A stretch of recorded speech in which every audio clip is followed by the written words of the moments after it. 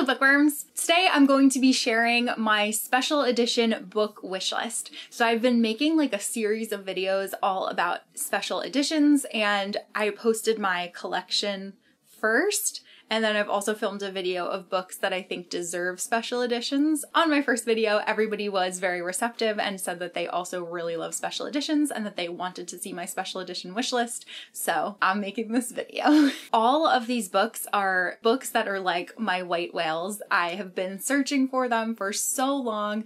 A lot of them I look up online like once a week just to see if they've become available or to see if they are a reasonable price that I can afford because sometimes they're available, but they're also like $500, which I'm not going to spend on a book. That's like absurd. So in this video, I will be talking about 10 books, kind of. Some of them some of my items include more than one book, but um, I essentially made a list of like 10 books that I really, really want, and then two books, two special edition books that I currently have pre-ordered that are going to be more widely available. So if anybody else wants to get them too, they should totally do so. Let's get started. Okay, so first up on my wish list is the hardcover versions of Kings of the Wilds and Bloody Rose by Nicholas Eames. I would do anything to have hardcover copies of these books on my shelves. I have the paperbacks, obviously, but I love, love, love hardcovers. I am definitely a hardcover person when it comes to my book collection. I'm fairly certain that copy hardcover copies of Kings of the Wyld were actually limited to like 350 copies, which is why they're impossible to find and it's really sad and frustrating. And then Bloody Rose there were more copies that were printed and it has sprayed pages, which is really pretty. But again, like went out of print super, super early. And I'm really hoping that at some point, some publisher will do another run of these in hardcover or make special editions or what have you, because Kings of the Wyld is one of my favorite books ever. And I really need a good hardcover copy. Our paperback is pretty well worn at this point because I've read it twice and Andrew's read it once, and I definitely foresee like both of us reading it again in the future. It's just so good. Number two on my list is actually a box set and it's for the HarperCollins cloth bound editions of Lord of the Rings. I've been searching for these for years. I have the copy of The Hobbit that matches the rest of the set, but I don't have the Lord of the Rings ones, and they are so, so beautiful, but they run for such a high price. Like, if you're trying to get the box set, I've looked on like eight AbeBooks, I've looked on eBay, it's ridiculously priced, and it's one that I've been, it's another one that I've been looking at for like literal years. The one good thing is that there is no shortage of really pretty editions of Lord of the Rings, so I definitely have quite a few of those on my shelf already, but this is just one that I've been actively looking for for so long. Next is the Geekify leather bound editions of Name of the Wind and Wise Man's Fear. So these ones are actually, again, more widely available because it's a company that creates the leather bound. It's actually the 10th anniversary edition of Name of the Wind, so um, this one that I have here, it's that, but they bind it in leather, and oh my gosh, it's so pretty. It's this like forest, like hunter green leather, and you've got Kvothe's lute on the front, and the pipes are like in the top corners. It, it's just stunningly beautiful. Like probably one of the most beautiful books that I've ever seen. And then Wise Man's Fear is like a really pretty like wine colored leather and again, it's just really gorgeous and I really do want to get these and add them to my collection. The reason that I haven't gotten these yet is because they are very expensive. They're like $225 per book, which it's a leather bound book, so I understand, but I just haven't ever taken the plunge. I've put it on like every wish list that I've given Andrew for like my birthday and Christmas too for like a couple of years. so I feel like one time, like one day I'll get them. It's gonna happen. Next on my list are the leather bound editions of the Mistborn series by Brandon Sanderson. I got this beautiful leather bound set of Way of Kings and I am just like completely astounded and impressed with the quality and everything. Like and it just really made me want to get the other ones too. So the Mistborn ones are really beautiful. They just look like old like gorgeous, gorgeous books. And Mistborn is one of my favorite series, so I definitely want to get those. And I, so this is another one. I haven't actually read Warbreaker just yet, but I do also really want to get the leatherbound edition of Warbreaker. I think that that one is actually the prettiest of any of the leatherbounds that Brandon Sanderson has released yet. I have no doubt that I'm going to love it. Like, that's not even a concern of mine. I have loved all of his books that I've read, so like there's no doubt that it's going to be amazing but obviously i'm not going to buy it until i read it and until it comes back in stock because it's actually been out of stock on his site for quite a while. Oh next is the FairyLoot edition of kingdom of the wicked by Kerri Maniscalco. I love love love these sprayed pages. They're so pretty. It's like a black sprayed page and it has these white like ghostly florals. It's stunning.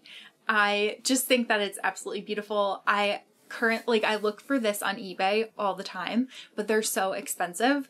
They're usually like upwards of $300, which again feels like just too much to spend on a book that would have been a lot cheaper if I had a subscription to Fairy Loot which I I want. I've been on the waiting list for a while. But yeah, I I feel like one day there's the potential maybe that I could find a copy that, you know, is floating around out there, but it's not happening now, sadly. Next are more FairyLoot editions. So I really, really, really wish that I owned the FairyLoot editions of Chain of Gold and Chain of Iron. That series, the Last Hour series, is my favorite Cassandra Clare series so far. Obviously, I'm waiting on the third book to see if that is like 100% cemented, but I'm like fairly certain that that's my favorite of her series. And I own a lot of editions of them so far. The Fairy Loot ones are really sleek. They're just black. I love the stenciling on the pages. Like, they're really gorgeous books, and I really wish that I had those. They obviously sold out like immediately, so I had no chance of getting those when they went on sale for like the general public. But yeah, if I could find them, oh, I would definitely get those. Next is a newer set of books. So the book box Once Upon a Book Club just released hardcover versions of the Bridgerton series by Julia Quinn, and they're so pretty. They look like designed in the style of like Jane Austen books, like they have that really classic feel to them and they're just gorgeous. I really wish that they were still available. I didn't realize, like, I, I think the box was like kind of expensive, which makes sense because I didn't realize that you would be getting four books in it. I would have definitely ordered it, but I didn't know when it was on sale or anything. And I was just looking at their website the other day and they have like two of the books that are still in stock, but the two that I like most are not in stock. So I've been debating, like, do I get those other two and then hope that I can get the first one and the fourth one in the future or what? Like, I just don't know. But they're really, really pretty. And yeah, I wish that I, I wish that I had ordered that box. Okay, then I have two series that I haven't actually read, and that's why I didn't purchase them, but I do think that the books are gorgeous. First is Illumicrate's exclusive editions of the Poppy War series by R.F. Kuang. They're really pretty. The main covers are pretty similar, if not exact, to what the original books look like, though they do feel a little bit more sleek. I have a feeling that they're probably like the UK cover. And then what really sold me on these is that the pages have like the smoke on them. It like they just look so pretty and they have like a different color scheme on each one and they just look really beautiful together. And when they first announced them, I was like, oh my god, these are gorgeous. Should I try to read the Poppy War before the pre sale for this happens so I know if I need to buy it or not? But I didn't end up getting to it. I again, that was like last year when I was in a reading slump. I still haven't read The Poppy War, so this is one that I don't actively look for, but it's definitely one that I like super admire and I think was really beautifully done. And then the last one is the FairyLoot edition of the Red Rising series by Pierce Brown. It's the first 3 books that they made over. They're so gorgeous. I really love how if you line up the spines together, they all match with each other and I think it like makes a hook if I'm remembering correctly. And they're really pretty colors. There's like there's a mauve kind of color and there's a blue and then I think that the third one is white. But lined up, they just look absolutely gorgeous together. My friend Jess from Stars Above Jess, she posts photos of them on Instagram and she showed them off on her YouTube channel and oh, I'm always like, wow, those are amazing. But again, I haven't read Red Rising yet, and that's why I didn't purchase them once they were released. So I'm just hoping that in the future I won't be kicking myself. Like if I read it and love it, then I'm gonna be like, great. And then two special editions that I pre ordered that I'm really excited to get. They're both Orbit books, and I pre ordered both of them because of Holly from Holly Hearts Books. She posted both of them in her Instagram story. So, first is the Leviathan Wakes 10th Anniversary Edition. This is by James S.A. Corey, and I love the pink. I think this is amazing. I really, really hope that they will do the rest of the books in this way, like with this hardcover. I think that there this series has so many fans, and oh my gosh, if they just did all of these with like these bright neons. Like if each one matched the like neon color of the title that's on the spines of the paperbacks, that would be quite a collection. I would definitely buy those in heartbeat. So Holly posted this one one day and I was like, "Oh my god." And I immediately went and pre-ordered it and then the next day I was looking at Instagram and she posted another one in her story, and this is the illustrated edition of The Last Wish by Andrzej Sapkowski, which is the first book in the Witcher series. And then I immediately went and pre-ordered that one, and I was like, Holly, you're killing me. I'm not allowed to look at your Instagram stories tomorrow in case there's another book that you're going to be posting that I need. So I actually own a couple copies of The Last Wish, but I'm really excited to see the illustrated edition. I think that this looks like it's going to be really gorgeous and just like a really, really nice book to add to my collection. And both of those are currently up for pre order, so I'll leave links to them down below if you're interested in getting yourself a copy. They're both coming out in the next couple of months. I think one I think Leviathan Wakes comes out in September and Witcher either comes out in October or November, but I'm ready. Oh my gosh let me add one more thing to my list. So, this is just like an impulsive addition that I'm saying now. So, there is this UK based book company called, I think it's like The Broken Binding or something. And they recently announced that they were doing hardcover versions of the Malice series by John Gwynne. And all of them have beautifully sprayed pages and they're oh my gosh, I was dying when I saw them. I was like, these are absolutely amazing.